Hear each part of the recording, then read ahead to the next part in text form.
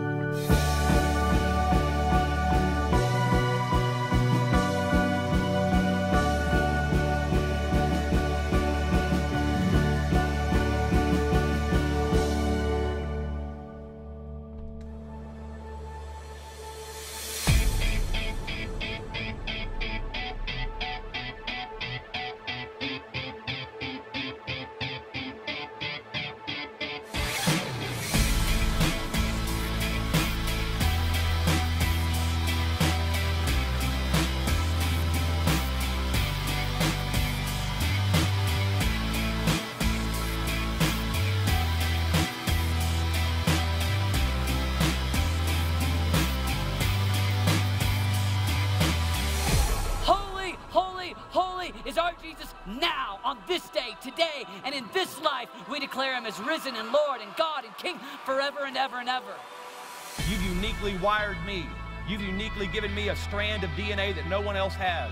I have gifts and skills and talents and strengths that, that are mine, that you've given me.